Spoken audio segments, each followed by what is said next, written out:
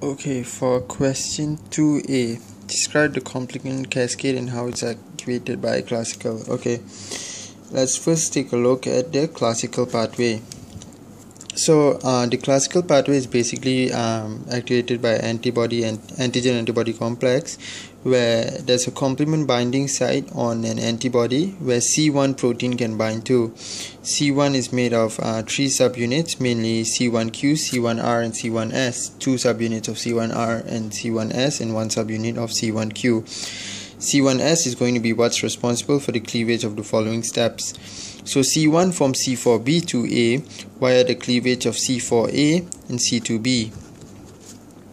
C4b2A is a C3 convertase that converts C3b to C3b, C3 to C3b via the cleavage of C3a, which C3b combines with the C4b2A complex to form a C5 convertase C4b2A3b.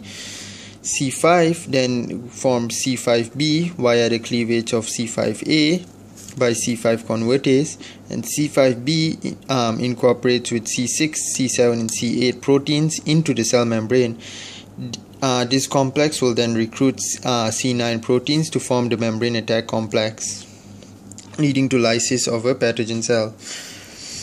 As for the alternative pathway, the alternative pathway is spontaneous, where C3 forms C3b and C3a and C3b from C3bb via the combination of factor B and C3bb from C3bbb via factor D, which is a C3 convertase and can catalyze the spontaneous reaction I spoke about earlier. C3bb from C3bbB3b via C3b and this is a C5 convertase. The following steps are similar to the classical pathway.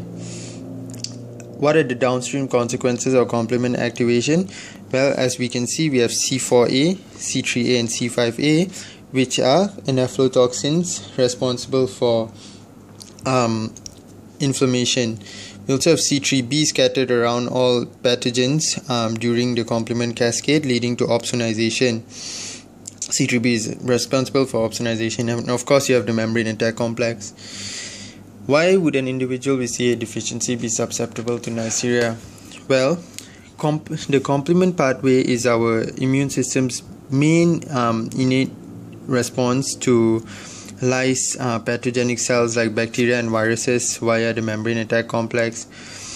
With um, with the loss of any one of these uh, C6, C7, C8, or C9 uh, proteins, you're not going to be able to form a membrane attack complex, hence not able to lyse the cell.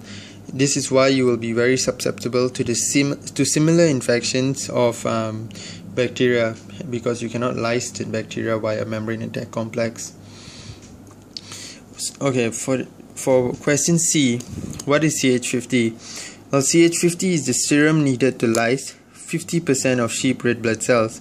To understand the meaning of that, we first need to understand how this test is performed. Say you have a container you will have a fixed amount of sheep red blood cells and sheep antibodies in the container. Sheep antibodies will then bind to the sheep red blood cells in the container and keep in mind that this is a fixed amount. You will then add the serum, uh, patient serum, which is a variable amount, um, into the same container. The patient serum has a variable amount of complement, and as we know, complement will bind to an antibody because antibodies have complement binding sites. Once once the complement binds to the antibody this will lead to the lysis of um, the sheep red blood cell. If you have 50% of uh, sheep red blood cell lysis um, this is known as a C9 deficiency. But if you have no sheep red blood cell lysis it can be any one of the four complement deficiency C5B, C6, C7 or C8. As for the last question, tacrolimus. Okay, keep in mind that tacrolimus is also known as FK506. So to un understand the mechanism of action of tacrolimus, we first need to understand the calcineurin pathway. So in a T cell, when a T cell receives a signal, T cells will then lead to an increase in intracellular calcium via calcium channels. The calcium channels will then um, give a positive response to calcineurin to dephosphorylate nuclear factor of activated T cells, which then leads to interleukin 2 formation. Interleukin 2 will then lead to proliferation of immune cells. So FK506 or tacrolimus will bind to FK binding protein in T cells leading to inhibition of calcineurin. Inhibition of calcineurin will lead to inhibition of dephosphorylation of nuclear factor of activated T cells, hence you won't have interleukin 2 and hence this produces an immunosuppressive effect.